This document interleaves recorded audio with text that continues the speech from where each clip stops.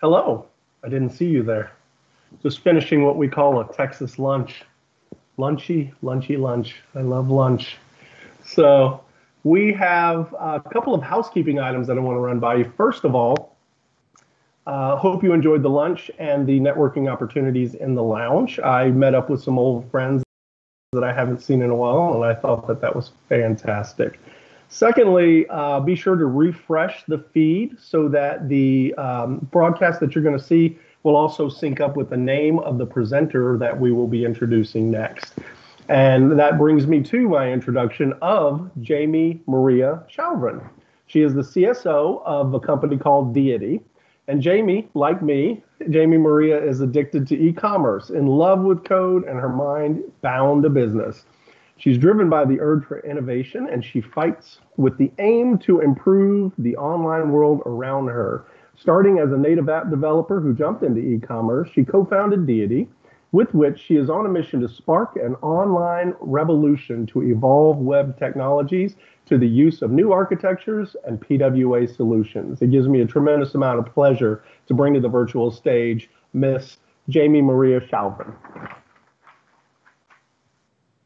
Hello, everyone. Uh, thank you so much for the great introduction. I'm very, very happy to be here. I'm very sad to not be in New York at this time, uh, but at least I can join uh, you and, and share some of my knowledge with you on this virtual stage. Uh, that's what I'm going to do. Uh, today, I'm going to talk to you about software architectures and uh, going wild, actually. And um, as you just mentioned, my name is Maria Schouren, and I co-founded uh, Deity. And while we talk about software architectures, I'm really going to ask you to wear some sunglasses because it's going to be pretty wild. So, first of all, it's 2020. And while we were saving the world in 1944, we are saving the world now by being on our phone. The apocalypse is here and we are at home on our phone. That's how we are at the moment saving the world. And we can actually see this in numbers. If I look at this chart uh, by Cloudflare, uh, it's very interesting to see how the internet traffic has been growing immense, tremendously, uh, starting somewhere from uh, February. I'm pretty sure it's still up to date. These numbers are until April, but I'm pretty sure if we put up these numbers right now, they look kind of the same. And uh, we not only see this in the internet users, we really see this in the e-commerce as well. Uh, the total online spending was 82.5 billion in May in one month. That's a 77% uh, year-to-year growth compared to last year. Uh, not only is this amazingly high, uh, but it's also a jump that is predicted to happen only in five years. So just imagine we have been growing our e-commerce in one year, which was predicted in five years. This has been great for many e-commerce shops, but it also has been a very big strain on our systems. And to survive, we need fires. So what do I mean with that? This is something that I call the fire principle. And the fire principle is the way to survive your online business uh, for these huge traffic amounts, but also for the demands we're going to have in the future. To survive your business, you're going to need to be flexible. Your software needs to be able to, to, to, so you can build with it whatever your business needs. Like if it should be a front end, if it should be different backends, you should be, have the flexibility to build with no restrictions on either design or, or functionalities. They also should be integratable. There are very, very great uh, services out there at the moment. And many times I still hear, oh, we cannot integrate, we cannot use that because the software cannot do that. And we should not have that. There's so many great software uh, services out there. There's so many data sources out there. We should be able to have the freedom to integrate them. We also should obviously be very reliable. If you go offline, that's something we don't want. We don't want our shops to go down. We should be able to keep up uh, our performance without having any uh, trouble with any amount of traffic. Then we should be extensible. We need to be able to extend and, and, and add new features. This, this market is growing so fast and it's so much changing every single day. We should be able to extend in a very quick way without adding any complexity to our software system. So we do not have to, we, we don't get in trouble as soon as we grow. And last but not least, we need to be scalable. Uh, we need to make sure that we can scale unlimitedly on every single side of the game, back or front end. Unfortunately, the scalability is kind of a problem. The flexibility of most websites is like vodka. It's not flexible at all. And why this is, I'm, I'm going to talk you through uh, some uh, wh- why this is happening. And that really has to do with the software architecture. And for that, I'm going to walk you through a little bit of software architecture history and what is happening there. We have the old and the gold monoliths old and the gold monolith, this is one of the most basic software architectures where everything is very tightly coupled. We have the UI layer, the data layer, the processes, everything stitched together. It looks a bit like this. Um, so the presentation layer, the business logic, the data interface is there. It's all stitched together. If you want to change somewhere, uh, for example, in the business logic, you're really going to have to take care of all the other business logic. It might have some influence. It could be that you're pressing a button and then the presentation layer goes down, etc. Obviously, there's some pros uh, to monoliths, and the pros of monoliths are mainly that the application is packaged and deployed as one. There's another pro that's pretty simple to develop, pretty simple to deploy, as you only have one package to deploy. Simple to test, simple to maintain, but only if you keep the application simple. In most cases, monoliths are not being used for only simple applications. I've seen I've seen some really really big shops running on monoliths, and which which are having a lot of trouble. That's why we have some cons of the monoliths. Monoliths are hard to extend and maintain. As soon as you get big, and there's a lot of things happening in your monolith, you're gonna have some trouble with extending and, and maintenance. Monoliths are not flexible. You cannot easily switch or, or add something new. You, you need to really look at your whole system every single time and take care of this system. Monoliths are not very reliable. If you go down, you go down. Everything goes down. And still, most of the modern internet is a monolith. One example we saw recently, and I'm sorry, uh, Magento, but there was this issue where they say, you know, when you have an admin user and you have the role scope restricted by website performs operations in admin panel, for example, just logging in or, or saving a product, then the Magento rebuilds the whole cache. And in that case, it could lead to site outage. And I think that should not be possible. It should not be happening that if someone is just logging in or changing something and you have high traffic at the moment, that your whole website goes down because someone is logging into your backend panel. I'm like, yeah, this should not be happening. But we can solve that. And Magento is actually a very good way of solving this. And, and what we do, we go wild and we go headless. And what do we mean with that? The front end in a headless solution, the front end is decoupled from the backend and connects via APIs. The key here is a decoupling of the front end, and the front end no longer depends on the back end services. So it depends, but it's not interwoven. So it looks something like this. We have the presentation layer separate from the business logic. The data interface is still there together, and then there is the database. The business logic is still one. So in your business logic, you still have some complexity there, but at least your presentation layer is safe. You can communicate presentation layer. There's some pros of this. Front end is not depending on backend processes. There's performance advantages. Your front end is very scalable and reliable. The front end is also more flexible and more integratable, and developers can work in separate teams. However, for the last two years, I've been hearing something weird. When people talk about headless, most of them also immediately think, wait, but what is about PWAs? Is PWA headless? And I think we should find the answer for that. When I look at a PWA, a PWA basically is nothing more, and, and it's pretty cool, let me say that, but it's nothing more than, than a set of tools or a set of functionalities. It's a it's together, it's the same thing as a native app and a responsive website together. It has all the cool stuff of the native app and it has the cool stuff of the responsive app. And we have a progressive web app. Things like push notifications, installable home screen, full screen experience, but also very high speed. We can have a very reliable and very fast uh, progressive web app. And that's very important, and especially in e-commerce, as we know that 53% of users abandon a page if it takes more than three seconds to load. Online, that's very long. Offline, it looks stupid. 3.2 seconds, I mean, it's ridiculous if you're going to leave and do not want to wait for it, but it's happening. 3.2 seconds only, and 53% of your visitors are gone. And now you might think, know, I'm a great web developer, 3.2 seconds is not going to happen to me. But 19 seconds is the average mobile web page load on 3G. And not just on 3G, 19 seconds. On 4G, it's 14 seconds. It's not even that, that much big of a difference. But if you look at the whole world, we might think 3G is, it's, you know, that, that's low or that's high. I mean, we in Europe, and especially where I am, we have a lot of 4G. Uh, but the main part of the world, 60% is still on 2G, actually. And I cannot even imagine the numbers there. But what happens if you if you speed up? So what happens if you use this PWA technology? What what does it do for your shop? And uh, one of the platforms that used it uh, is Tinder, and I'm pretty sure I don't have to explain what Tinder does, and especially not during this COVID times. I think a lot of people are looking on Tinder. Um, but they were able to use PWA technology and were 7.22 seconds faster. They were 90% smaller, and with that, had more messages, more swipes, and longer sessions. This is a great, great advantage for them. Uh, but a bigger advantage even was by Uber. Uber used progressive web app technology and were able to load within three seconds on a 2G network. And if you think about that, that that's really, really interesting. Uber was not able to provide their services on a 2G network before. Now with progressive web app technology, they can load within three seconds. This means that 60% of the world on a 2G network is now accessible by Uber. And I'm pretty sure that maybe nowhere, there's places where there's internet is bad, but I'm pretty sure almost everywhere in the world there are cars and there's people who need to go from A to B. So the core is only 50k gzip and they have a full new market opportunity for them. Another cool thing that you can do with Progressive Web App is that you can send push notifications, like these real push notifications you, you have on your phone that you normally get from apps. You can actually send from websites.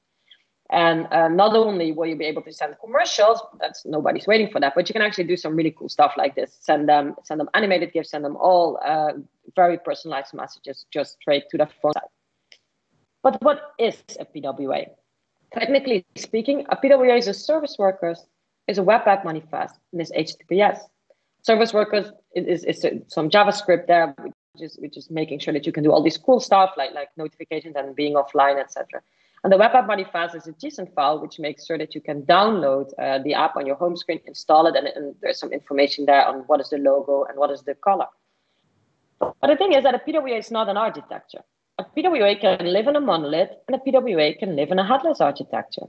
It doesn't matter. PWA is not headless. And PWA is no FIRES. PWA is not flexible. PWA is not integratable by itself. PWA is somehow reliable. That is true. PWA is much more reliable. PWA by itself is not extensible and it's not scalable.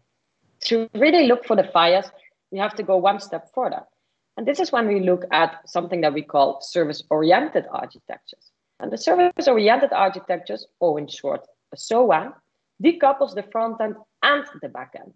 So the SOA brings the flexibilities, the extensibility, the scalability, and the reliability to both the front end and the back end. So how does that look like? It looks something like this. In the service-oriented architecture, you have a middleware which strongly connects uh, the data, and then you have multiple. You can have multiple presentation layers, and you have separate business services. One service could be search, one service could be payments, one service could be products, etc. Instead of sharing a single database, also every service can have its own database, so you can choose what technology you would like to use for every service. The big ingredient and the not so secret ingredient of this service is really this middleware. You need this middleware if you really want to build service oriented architectures. This middleware connects all the dots between the systems and the services, but it also regulates where the data is coming from, where it should go to, and where the true source of data is. And mainly that one is important. You need to know where the true source of data is. If you're using multiple services, you need to know which one is defining the price, which one is defining the name of the product, etc. Uh, these processes uh, we can find in the middleware also include some authentication handlers and messaging systems to make sure that it goes to the right place. So some pros of going SOA is that you have a lot of manageable services. Your services are pretty nice manageable. You have separate deployments, languages, database per service and per front end. It's very scalable and reliable, not just on the front end, but also per service. Very flexible, and you can integrate anything directly to the middleware. It's very extendable without any complexity. As the service is a standalone, you can add any service and remove it later or replace it later. You have a fast adoption of new features and technologies, and you can work in distributed teams. You also have an increased productivity. Additionally, you can use existing services like, for example, Algolia, Magento for products, etc. So the SOA, this has the FIRES, flexible, integratable, reliable, extendable, and scalable. Now, a SOA is pretty difficult to build. If you want to build it from scratch, it's going to take you a while. You need an architect for that. You need to really write down what you're going to do. You need to figure out the middleware. You need to figure out the services. You need to figure out the front end. You need to get the data from A to B, etc. So we as a company thought this could be different. What if we can offer a light version? What do we need? What if we offer a light version SOA? We need a middleware. We need some data integration parts. We need to be able to get the data in, and we need some basic services. And that is what we did within our company. We built a middleware that connects with different ecosystem industry partners, like for example, Magento, WordPress, Algolia, that has some basic services on the right side, which really gives you some enterprise power, and it has some front ends on the left side. And to show you how fast this is and what is happening in this middleware, this interesting. On the left side, I have a demo. So this is a, a demo site as a front end. What I'm going to do, I'm going to search for a product. As you can see in the top right, I'm searching this in the front end, the PW18. Then it's asking the server, the presentation server, for this information. And this presentation server knows this is a search. So I'm going to ask Algolia on the fully right side. The product is being appeared and I'm going to have some, some data there. Then on the right side of my screen, this is a backend of, of, uh, of BigCommerce, and I'm going to change a product price here. I'm going to save the product price. So the product is being saved in BigCommerce. There is no direct integration between BigCommerce and Algolia. The information is being sent to the presentation server, and the presentation server then knows to send this information to Algolia so the Falcon frontend can use it. So I'm going to use now this search. I'm going to look for a clock. And the clock here is 89 euros. Now I'm going to change the price to 99. I'm going to save it. I'm not refreshing any cache. I'm not even refreshing my website. I'm going to search again, and the price is changed to 99. We only need the processing time here of 300 milliseconds. We do not even need to replace or, refresh the website or do anything. No caching, nothing. We do not need to do anything to get this data there. And we can do this because we're using this very fast middleware to get this data to the right place. We believe that's the only way that you can actually fast move forward. So an example, if you want to build a shop, how will that look like? For example, you can do something like this. You have WordPress, which you're going to use for content. You want Elasticsearch for navigation and search.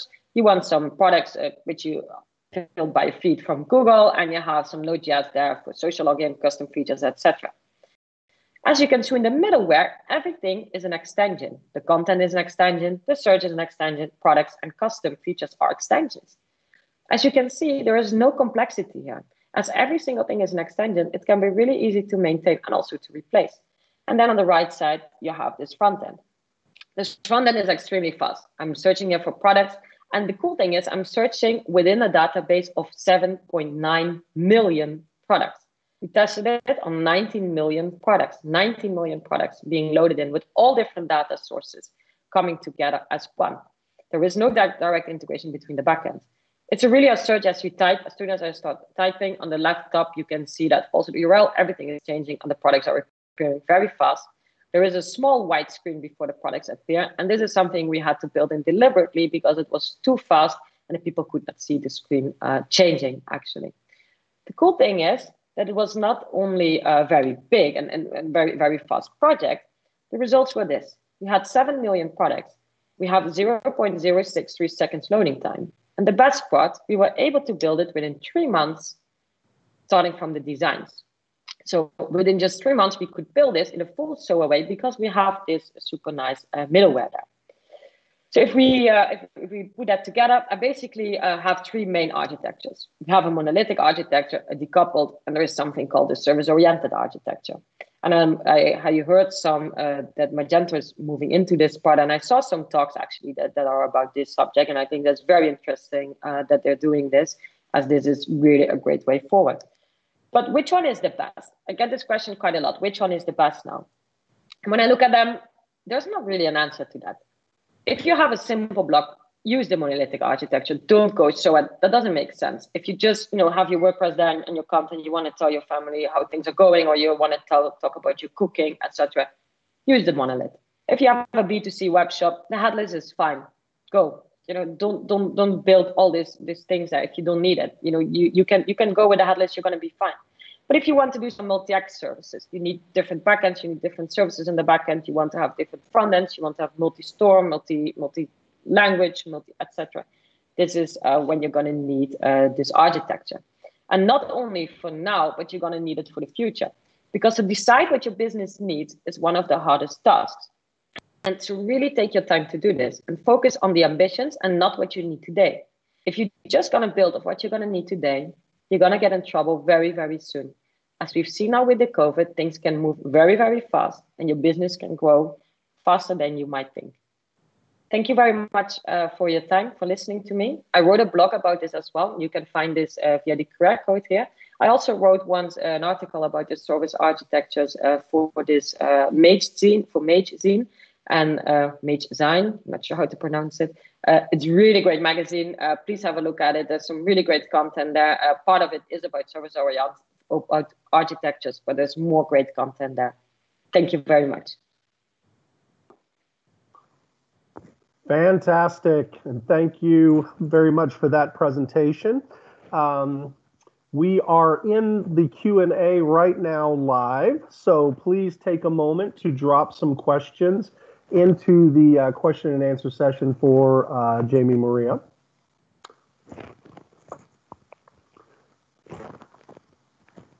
So there are no questions at the moment.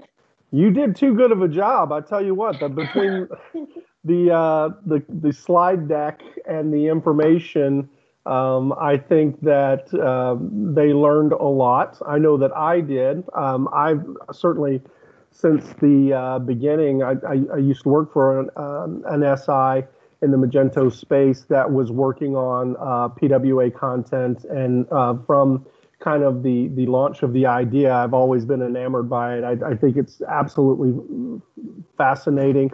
Um, certainly wicked fast. Um, I think the world is going to be migrating to headless technologies um, in the very near future, just to try to to um, hold on to their um, part of the uh, competitive landscape.